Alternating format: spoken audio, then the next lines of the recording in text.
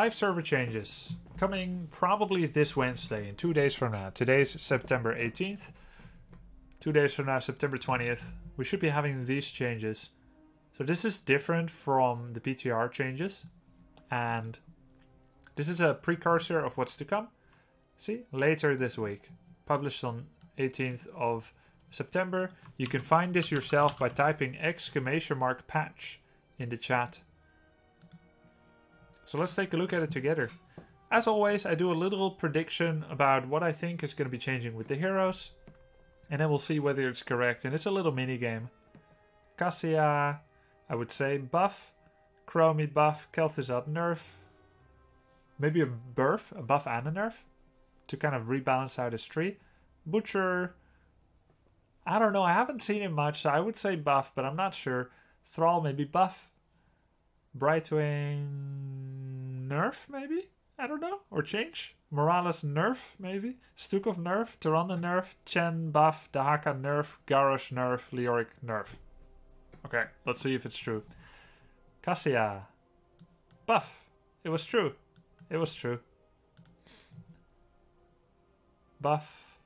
More damage. More damage. More damage. No more true side. Less extra blinds. It's time to do the Q build. They made the quest easier to complete. And a tiny surprise as well. Cast range of Time Trap. Only about 40% of Chromie players were unlocking the Echo over the course of a game and among players that did it, it was occurring later than we'd like.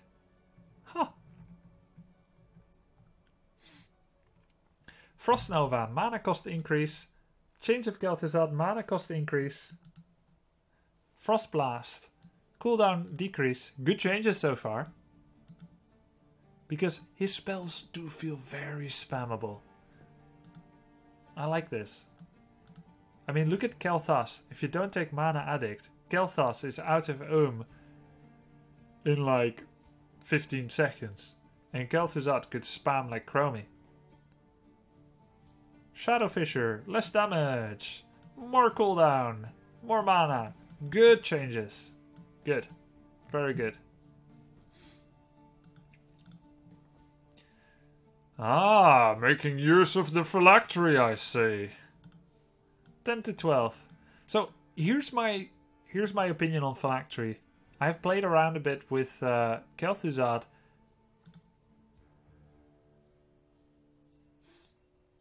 Cassia has a nerf. Yeah, of course it's a nerf to her uh, Seraph's hymn. Uh, here's how I view it. Whether it's 10 or 12 globes, the way that I see this, you should never use the activatable. Period. You just use it for 10% lifesteal on your mana. And you only use the activatable if it's a game winning core defense. That's it. Anytime I used it, it's very difficult to get the 10 globes again in the mid to late game. So you should almost not see the active element as uh, as an element. For those of you who don't know Kel'Thuzad yet, if you press it, you instantly revive, but you lose your 10 globes, so you no longer have the 10% life steal. I don't think it's the worst level 4. I don't think it's dead, dead to rights the best level 4, but that's how I think it should be used. And only if the core is about to die, you, re you revive yourself. You don't do it just to get to a tribute faster. Making it on 12 doesn't really change my view of the core functionality of it. And I think it's fine. 10 or 12 globes isn't that hard to get. I don't have too strong of opinion about it. Accelerated decay. More bonus damage on each extra tick of the cube. I believe I find this was the worst level 7, so I don't mind the buff in it especially since he has received nerfs across the board in his base kit. Glacial Spike does far less damage, reducing the power of his one-shot. And also it will be harder to combo with it and easier to dodge for the opponent. The delay was already important to you cast the spike and if you immediately did the change, the chains of Kel'Thuzad, you would miss it because it didn't spawn yet. That will be a more difficult problem now. This was the strongest level 13. Even if you missed your Nova, they were still so slow because of this that after you chain combo someone, your alt was still very likely to hit. A little bit less slow for a less long period.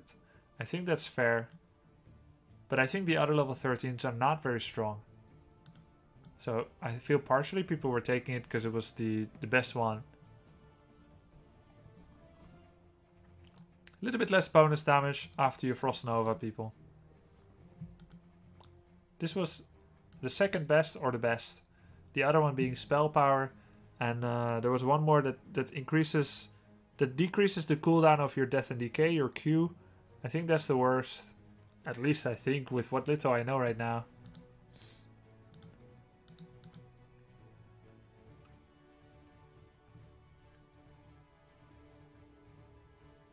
Yeah. His win rate has climbed more and more. Yeah, because he's he started at a pretty low win rate. And so it's gotten better and better as people got better. That makes sense. We like the sharpness of his power spike due to Master of the Cold Dark. I believe his win rate will still keep climbing despite these nerfs. This one may actually mean you want a different level 7. I'm just gonna take a quick look at his level 7s. The others are Chilling Touch, which was the every 8 seconds his basic attack hits uh, a splash spell damage that also slows. And you have that accelerated decay. Glacial Spike still gives you combo ability that may still make it the best, but it's a pretty significant nerf. Very significant nerf actually. Like at later levels this will be like 300 damage and then it gets amplified by your Master of the Cold Dark so it was adding like 500 plus damage. Oh yeah, the auto attack is double. Wait, does it? No, it's not double. Oh yeah, it's it's 75% extra damage to the auto attack at level 7 as well due to his quest. I think Glacial Spike will still be a competitive choice. Because of the utility. I mean, let's look at it. It's it's a movement blocker. It is a, a combo ability on a single hero when there's no other heroes around. It damages. Does it slow as well? No. Okay. Moving on to Butcher. More basic attack damage. More healing. Health scaling per level. Wow. That makes him a little bit better late game at, at taking damage. Well, like I said, uh, well, like I said, like I, like I thought, he will get some buffs. It's true. Significant drop in win rate, because they gave him some meat nerfs. Thrall. More basic health. Yay. For the Horde! Ah, that's... That's a war cry that I can get behind. I like Thrall. Um, but how much is it really? 13, 89, 89 over 1800, so 90 over 1800, about 4 or 5%. Decent. Smaller changes have been made to greater effect. About 5%, huh? Soothing Mist. Range increased by 1. Blink heal reduction, 1 second. Wow, a lot of changes. So this is two buffs. Dream Shot. Oh, no more unfurling spray. Huh. Dream Shot. Increase the range of Arcane Flare. And if you hit the center, there's a one second CDR. So before she had one second on the outside and a three second CDR on the inside. Now it's only one on the inside. And it also combined the artillery talent at level 4. It made two out of one, but much weaker CDR component even more mobile with the global from the hyper shifts. Which was already very good.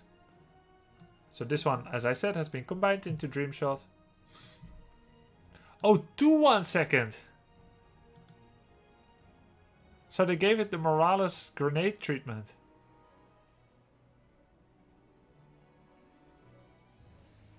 Read spammy chat. Yes, thank you for the spam. It it it called my attention.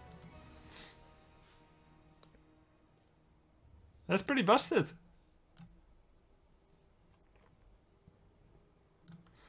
Peekaboo. So I thought Brightwing was gonna get nerfs because I feel like she's very strong, but uh, she's actually getting buffs, isn't she? Buff, buff, buff, buff, nerf. Peekaboo! Smaller radius. And it also gives pixie dust on the one that you fly on. Oh, shielding herself as well. I mean, you remove this, and the other level 4s are not good. The Manic Pixie and the uh, Unstable Anomaly. You pick them because it's like, eh, whatever, I'll pick those, I guess. This one is buffed. This one is buffed. And this one is buffed. I don't see why they even add this one. It's just gonna be ZZZ.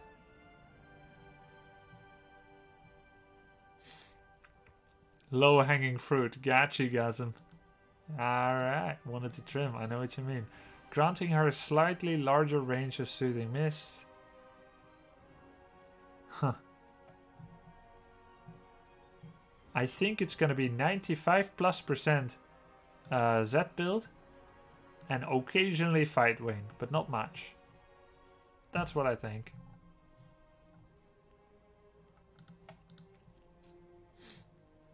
Wow, really? How are we going to focus Morales?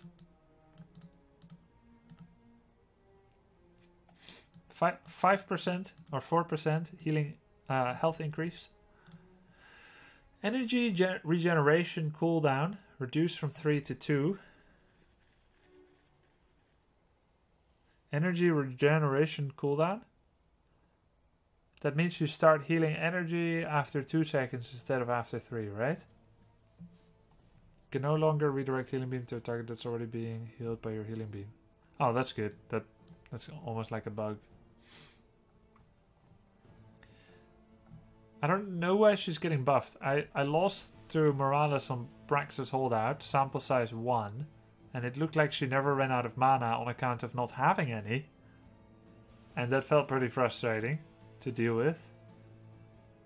And she's seeing pro play, and now she's getting buffed across the board.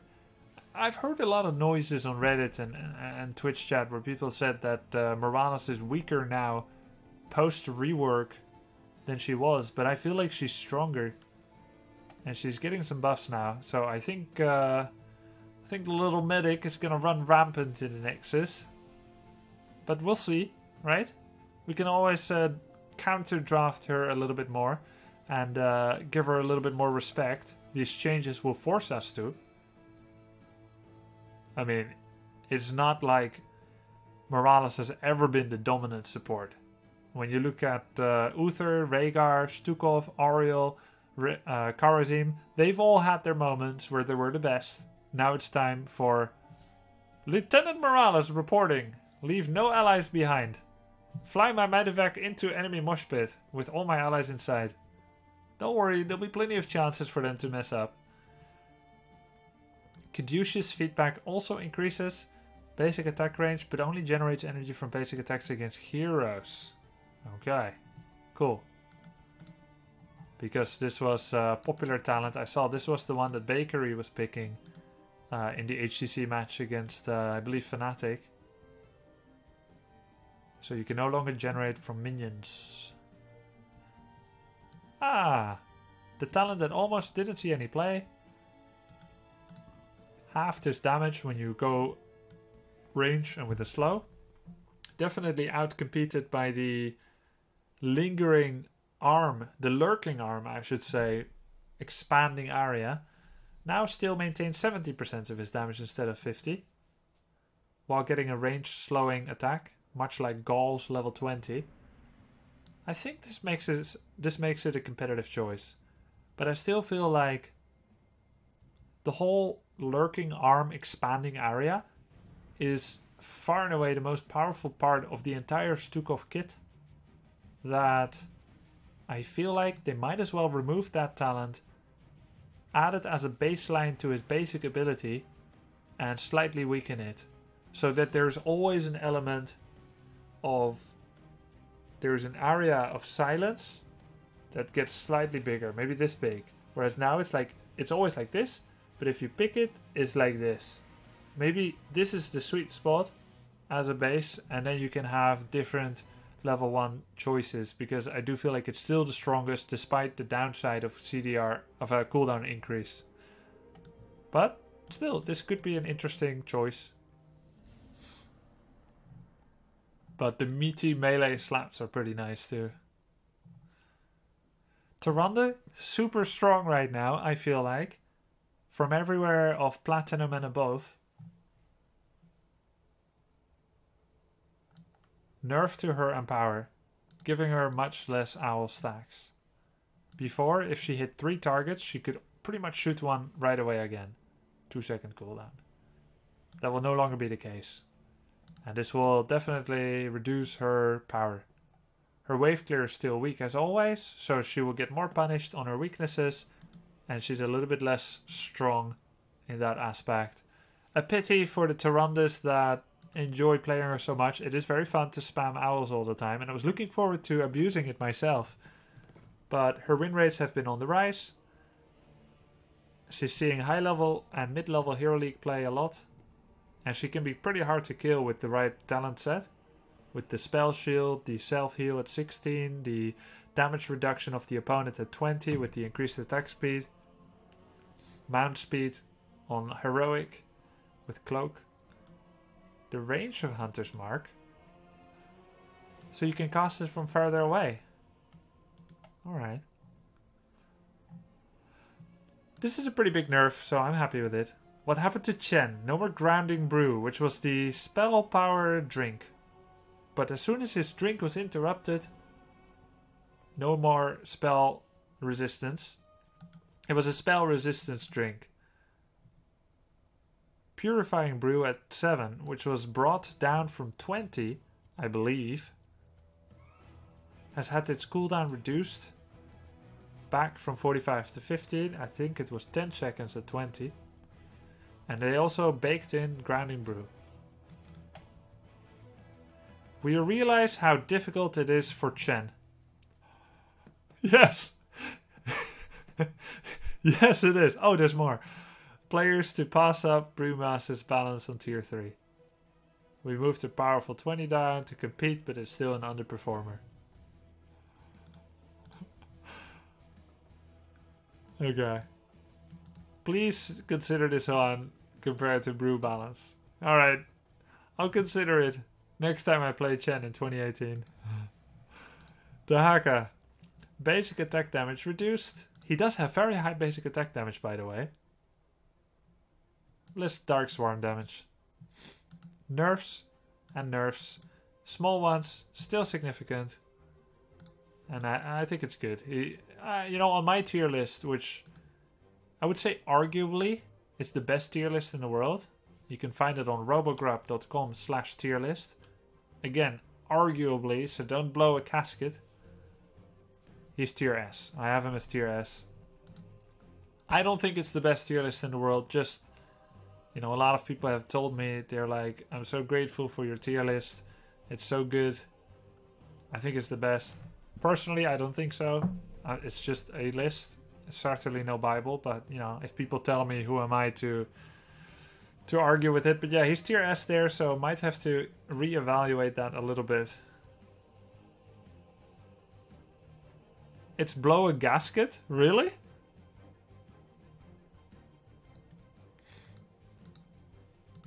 When are you gonna update it? I updated it very recently. Blow a gasket? Really? What's a gasket? Gasket. A gasket is a shaped piece or ring of rubber. or other material sealing the junction between two surfaces in an engine or other device. Now, what's a casket? A small ornamental box holding jewels. Okay, so it's it's blowing an O-ring rubber off rather than blowing a jewel box open.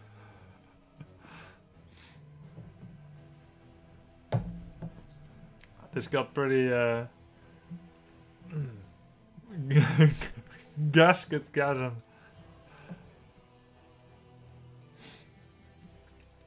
Okay, Garrosh. Mana cost increased on Q, increased on Wrecking Ball, and decreased on Decimate.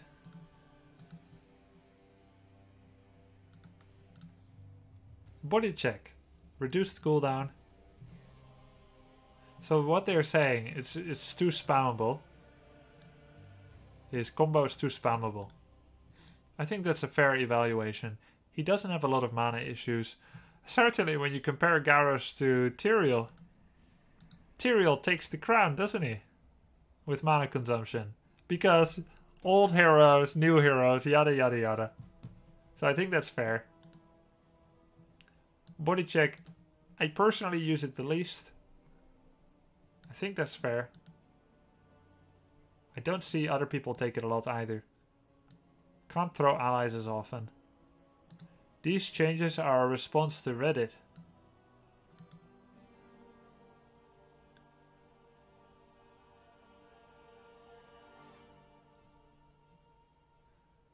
We don't think it's a good idea, however we agreed we agreed with Reddit. Well let's see let's see how that goes. Entomb cooldown reduced back to 60. Having said that, I do think it's fair changes, probably.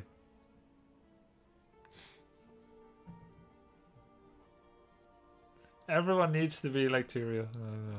Anyway. So that was the changes that are, are going to be coming to the Nexus in about two days from now, probably.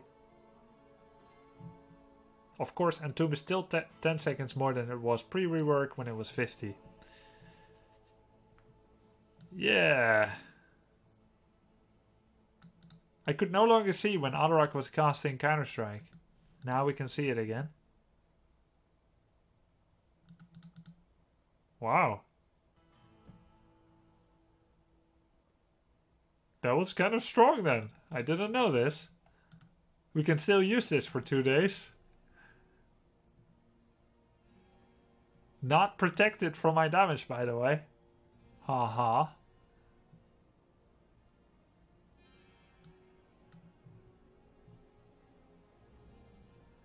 Hey, in terms of fixing sound bugs, could they stop blowing out my eardrums when Illidan hunts on someone? It doesn't follow my volume rules. That would be nice. I would like my eardrums back, please.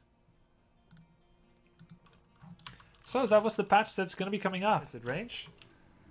You can hit structures for less damage, heroes for some damage, or heal allies for a lot. And you can't move during it. The ghost. Whoa. Whoa, whoa, whoa. oh!